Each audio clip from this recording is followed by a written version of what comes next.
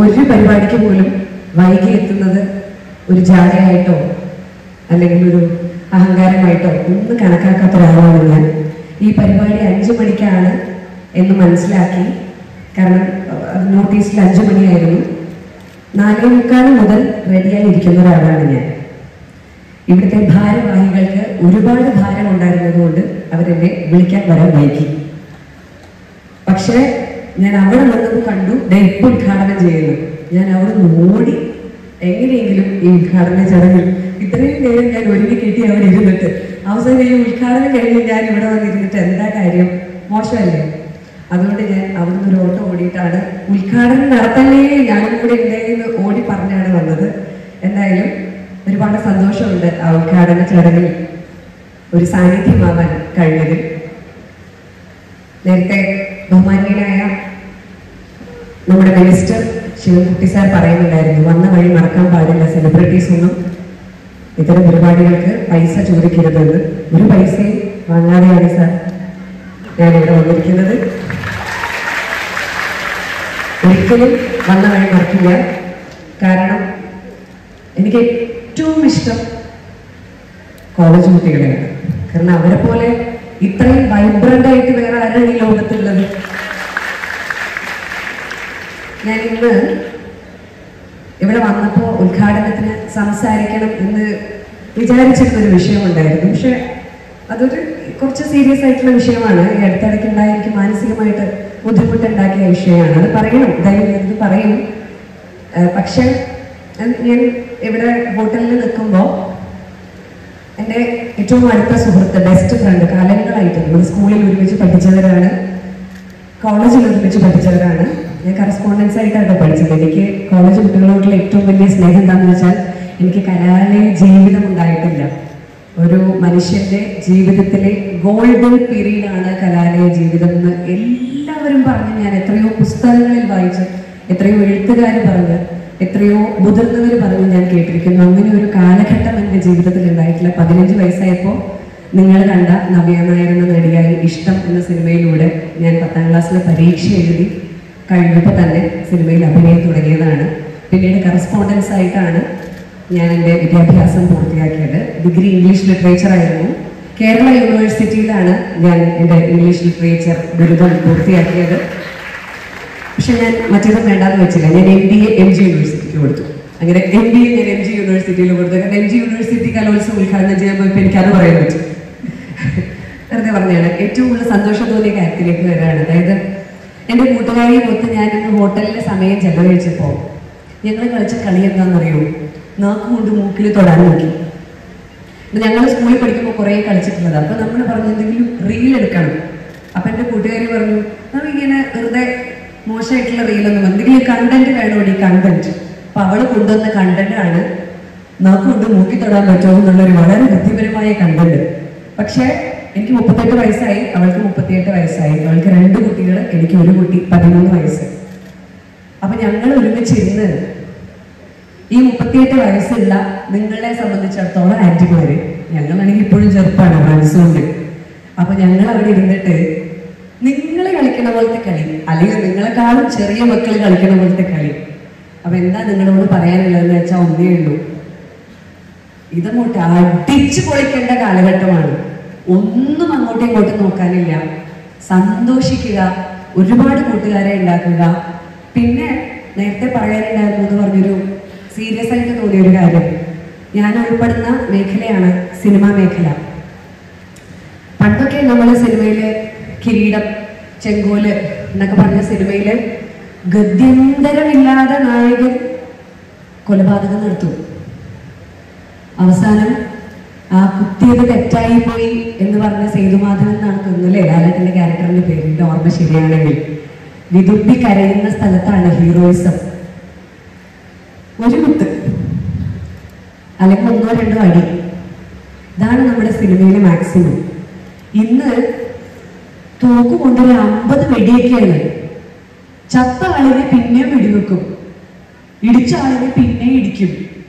അപ്പോ ഇത് കണ്ട് കണ്ട് കണ്ട് ഇതിങ്ങനെ പറയുമ്പോൾ തമാശയായിട്ട് പറയുന്നെങ്കിലും നമ്മുടെ ഉള്ളിന്റെ ഉള്ളിൽ ഒരു തീവ്രമായ എന്തോ ഒരു വികാരം.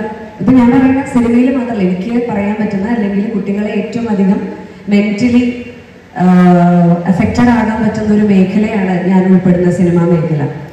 എനിക്കിപ്പോഴും കാണാനൊക്കെ ഇഷ്ടമുള്ള സിനിമകൾ എന്ന് പറഞ്ഞാൽ ഞാനൊക്കെ അഭിനയിച്ച സിനിമകളും അല്ലെങ്കിൽ നാടോടിക്കാറ്റും അല്ലെങ്കിൽ ടു കൺട്രീസും അല്ലെങ്കിൽ അങ്ങനത്തെ തമാശ സിനിമകളാണ് അതൊക്കെ മാറി ഇപ്പൊ വളരെ സീരിയസ് ആയിട്ടുള്ള സിനിമകളിൽ പലപ്പോഴും ഞാൻ കാണുന്ന ഒരു ഫീലാണ് ശരിയോ തെറ്റോ എന്ന് എനിക്കറിയില്ല. കൊലപാതകങ്ങളും അസഭ്യമായിട്ടുള്ള ഭാഷകൾ ഉപയോഗിക്കലും.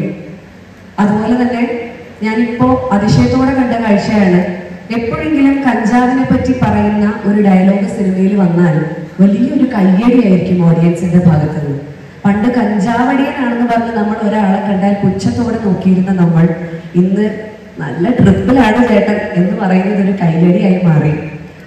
അപ്പോ അതിലേക്ക് നമ്മൾ മെല്ലെ മെല്ലെ എത്തിപ്പെട്ടതാണ് അതങ്ങനെ വളരെ പെട്ടെന്നുണ്ടായതല്ല. കഴിഞ്ഞ കുറച്ച് വർഷങ്ങളായിട്ടുണ്ടായ ഒരു പ്രതിഭാസമാണ് ആ ഒരു മാറ്റം എന്ന് എനിക്ക് തോന്നുന്നുണ്ട്.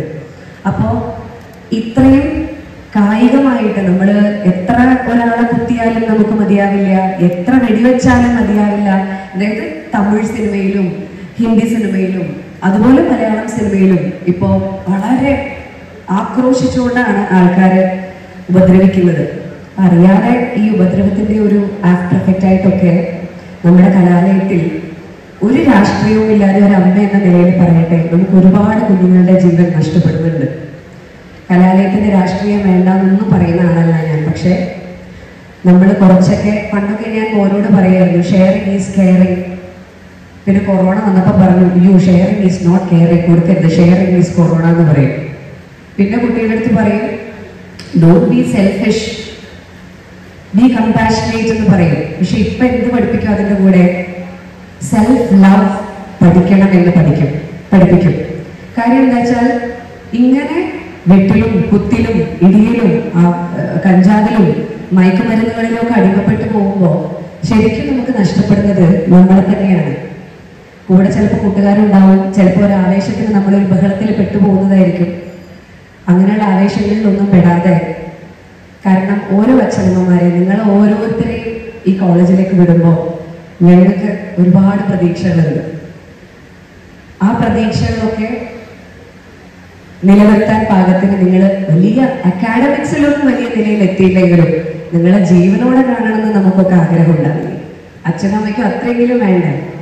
അപ്പൊ നിങ്ങളൊക്കെ പൂർണ ആരോഗ്യത്തോടു കൂടി ജീവനോടുകൂടി നല്ല മനുഷ്യരായിട്ട് ഈ കലാലയ ജീവിതത്തിൽ നിന്ന് പുറത്തേക്ക് വരുമ്പോൾ ചിറങ്ങളൊക്കെ ഉറപ്പിച്ച് പറന്നുയരണം. അതാണ് മുതിർന്നവരുടെയും നമ്മൾ മാതാപിതാക്കളുടെയും ഒക്കെ ആഗ്രഹം. മറിച്ച് ഈ ചിറകുകളൊക്കെ ഒടിഞ്ഞ് പറക്കാൻ പോലും പറ്റാതെ നിരങ്ങാൻ പോലും പറ്റാത്ത രീതിയിലേക്ക് അംഗവൈകല്യമുള്ളവരാവുകയോ അല്ലെങ്കിൽ ഈ തരത്തിലുള്ള മയക്കുമരുന്നിന്റെ ഉപയോഗത്തോടു കൂടി ബുദ്ധിഭ്രമിച്ചവരാകുകയോ ഒക്കെ ഉള്ളൊരു തലമുറയെ നമുക്ക് മുന്നോട്ട് കിട്ടിയിട്ട് എന്താ ആവശ്യം? എനിക്കറിയാം ഇപ്പൊ അങ്ങനെ പറയുന്നതൊന്നും നിങ്ങൾക്ക് ആർക്കും ഇഷ്ടമാവില്ല കാരണം ഞാൻ മറ്റേ മോറൽ സയൻസ് ക്ലാസ് എടുക്കണ പോലെ ഇരിക്കും.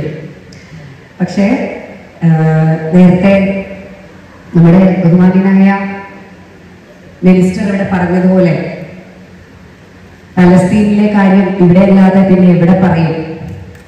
എന്ന് പറഞ്ഞതുപോലെ കേരളത്തിലെ കാര്യം ഇവിടെ അല്ലാതെ വേറെ എവിടെ പറയണം അതുകൊണ്ട് പറയാം. നമ്മുടെ കുഞ്ഞുങ്ങളുടെ കാര്യം നമ്മുടെ നിങ്ങളുടെ കയ്യിലാണ്. ഇവിടെ ഇരിക്കുന്ന അല്ലെങ്കിൽ ഇപ്പോ മിനിസ്റ്റർ അടക്കമുള്ള ഇവരുടെ ആരുടെയും കയ്യിലല്ല ഇനിയുള്ള കേരളം. നമ്മളൊക്കെ ഏജ് ഓവറായി കഴിഞ്ഞു ഇനിയുള്ള കേരളം നിങ്ങളുടെ കയ്യിലാണ്. ഇനിയുള്ള ലോകവും നിങ്ങളുടെ കയ്യിലാണ്. നിങ്ങൾ ആരോഗ്യമുള്ളവരാകണം. ഏതെങ്കിലും ആൾക്കാരുടെ കളിപ്പാവകളായി മാറരുത്. ഏതെങ്കിലും മാധ്യമങ്ങൾ അല്ലെങ്കിൽ ഏതെങ്കിലും സോഷ്യൽ മീഡിയ ചമച്ചു വിടുന്ന ന്യൂസ് മാത്രം ശരി എന്ന് വിശ്വസിച്ച് വരുന്ന ഒരു ന്യൂസിന് താഴെ കമന്റ് എഴുതുന്ന വെറും റോബോട്ടിക് ആയിട്ട് ചിന്തിക്കുന്ന അതായത് എന്ത് പറയുന്നു അത് മാത്രം ചെയ്യുന്നവരാണല്ലോ റോബോട്ട് അങ്ങനെ ആവാതെ യുക്തി ഉപയോഗിച്ച് പെരുമാറുന്ന എന്താണെന്ന് കൃത്യമായി വിശകലനം ചെയ്തതിന് മാത്രം ഒരു അഭിപ്രായം പറഞ്ഞാൽ മതി എന്ന് മനസ്സിലാക്കുന്ന ബുദ്ധിയുള്ള ഒരു തലമുറയായി വിവേകമുള്ളൊരു തലമുറയായി സഹാനുഭൂതിയുള്ള ഒരു തലമുറയായി എമ്പതറ്റിക് ആയിട്ടുള്ള ഒരു തലമുറയായി നിങ്ങൾ വളരട്ടെ.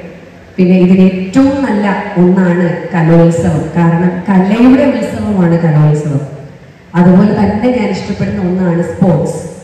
സ്പോർട്സിലും ആർട്സിലും നമ്മൾ നിമഗ്ധരാണെങ്കിൽ അതിൽ നമ്മൾ മുഴുകി ചേർന്നിട്ടുണ്ടെങ്കിൽ ഒരിക്കലും ഒരാളെ ഉപദ്രവിക്കാനോ അല്ലെങ്കിൽ സ്പോർട്സ് ആണെങ്കിലും കലയാണെങ്കിലും നല്ല ആരോഗ്യം വേണ്ടതാണ്. ഒരിക്കലും ഇത്തരത്തിലുള്ള ദുശീലങ്ങളിലേക്കോ നിങ്ങൾ പോവില്ല. ദുശീലങ്ങൾ എന്ന് പറയുമ്പോൾ ഞാനതിന്റെ ഒരു ഹൈ ലെവലായിട്ട് ഉദ്ദേശിക്കുന്നത് അല്ലാതെ ചെറിയ ചെറിയ കാര്യങ്ങളല്ല ഉദ്ദേശിക്കുന്നത്. ഇപ്പം അതിന് വളരെ ഒരു മോശം സിറ്റുവേഷനിലേക്ക് നമ്മുടെ യങ് ജനറേഷൻ പോയിക്കൊണ്ടിരിക്കുന്നു എന്നുള്ളത് കൊണ്ട് മാത്രമാണ് ഇത്തരത്തിലുള്ള ഒരു ബോറൻ ടോപ്പിക്ക് ഞാൻ സംസാരിച്ചത്. അപ്പോൾ എല്ലാവർക്കും എന്നെ ഈ പരിപാടിയിൽ പങ്കെടുക്കാൻ ക്ഷണിച്ച യൂണിയൻ ഭാരവാഹികളോടും കേരള യൂണിവേഴ്സിറ്റി ബി സിയോടും ബഹുമാനീയനായ മന്ത്രിയോടും നമ്മുടെ കൊച്ചു കലാകാരന്മാരോടും കലാകാരികളോടും എല്ലാവരോടും ഒരുപാട് ഒരുപാട് നന്ദിയുണ്ട്. ഇന്നു മുതൽ ഇവിടെ നടക്കാൻ പോകുന്ന പരിപാടിയിൽ ജയമോ തോൽവിയോ ഒന്നുമില്ല. കലയുടെ ഉത്സവമാണ്.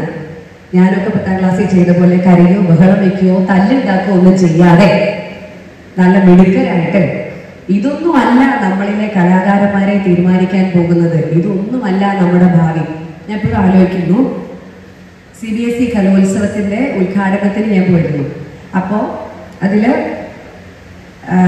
ഒരു വ്യക്തി അദ്ദേഹം ഒരു വലിയ അഡ്വക്കേറ്റ് ആണ്. അത് വളരെ ഫേമസ് ആയിട്ടുള്ള അഡ്വക്കേറ്റ് അദ്ദേഹം ഡെസിഗ്നേഷൻ ഞാൻ മറന്നു. എന്തോ വ്യാപാരി വ്യവസായ അങ്ങനെ എന്തൊക്കെയോ ആണ് അദ്ദേഹം. ഒരു വലിയ ഡെസിഗ്നേഷൻ ഉള്ള ഒരാളാണ് അദ്ദേഹം.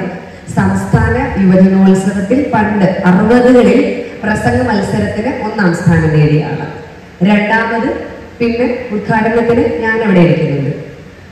ഞാനും സംസ്ഥാന യുവജനോത്സവത്തിൽ മത്സരത്തിനൊക്കെ പോയിട്ട് കലാവലം കിട്ടാതെ കരഞ്ഞയാളാണ് പിന്നെ അവിടെ ഒരു യുവജനോത്സവത്തിൽ മത്സരിക്കാൻ പോയിട്ടില്ലാത്ത എം എൽ എ ഇരിക്കുന്നുണ്ടായിരുന്നു. അദ്ദേഹത്തിന്റെ പേര് ഞാൻ അതുമല്ല അല്ലെങ്കിൽ അല്ല വേണം അപ്പൊ അദ്ദേഹം സംസാരിച്ചപ്പോ പറഞ്ഞു സി ഒരു കാര്യം മനസ്സിലാക്കണം. പ്രസംഗത്തിന് ഒന്നാം സ്ഥാനം ലഭിച്ചാൽ ഈ നേരത്തെ കാണിച്ച അദ്ദേഹത്തിനെ പോലെ വലിയ അഡ്വക്കേറ്റ് ആവാം. ഇനി സ്ഥാനമൊന്നും കിട്ടിയില്ല. കലാതിലകം നഷ്ടപ്പെട്ട നിങ്ങൾക്ക് നദ്യാനായരാവാം ഇനി നിങ്ങൾ ഒരു മത്സരത്തിനും പങ്കെടുത്തില്ലെങ്കിലോ നിങ്ങൾക്ക് എം എൽ എ ആവാം. അപ്പൊ ഒന്നും മോശമല്ല. നിങ്ങൾക്ക് നിങ്ങളുടെ ജീവിതത്തിൽ നിങ്ങൾ എന്താണ് ആവുന്നത് ഈ ഇരിക്കുന്ന മൂന്നോ നാലോ ജഡ്ജസ് അല്ല തീരുമാനിക്കുന്നത്. മറിച്ച് നമ്മുടെ കഠിനാധ്വാനവും നമ്മുടെ ആഗ്രഹവും നമ്മുടെ പ്രയത്നവും അത് മാത്രമാണ് തീരുമാനിക്കുന്നത്. അപ്പൊ അതുകൊണ്ട് എല്ലാവർക്കും ജീവിതത്തിൽ വിജയം ആശംസിക്കുന്നു. മത്സരങ്ങളിൽ മാത്രമല്ല ജീവിതം വിജയമാവട്ടെ നിങ്ങൾ. നമ്മുടെ ആഗ്രഹങ്ങളൊക്കെ സാധിക്കുന്ന തരത്തിൽ നിങ്ങൾ എന്താണോ മനസ്സിൽ മാനിഫെസ്റ്റ് ചെയ്യുന്നത്? ആ മാനിഫെസ്റ്റേഷനിലേക്ക് എത്താനുള്ള ഊർജം നിങ്ങൾക്ക് ഉണ്ടാവട്ടെ മറ്റുള്ളവരെ സഹായിച്ചു കൂടെ ചേർത്ത് പിടിച്ചു ഉത്സാഹിച്ചു ഉല്ലസിച്ചു. നല്ലൊരു തലമുറയായി നിങ്ങൾ മാറട്ടെ. നല്ലൊരു ഉത്സവം നിങ്ങൾക്കുണ്ടാവട്ടെ എന്ന് പ്രാർത്ഥിക്കുന്നു ആഗ്രഹിക്കുന്നു. നന്ദി നമസ്കാരം. ജയിക്കുന്നു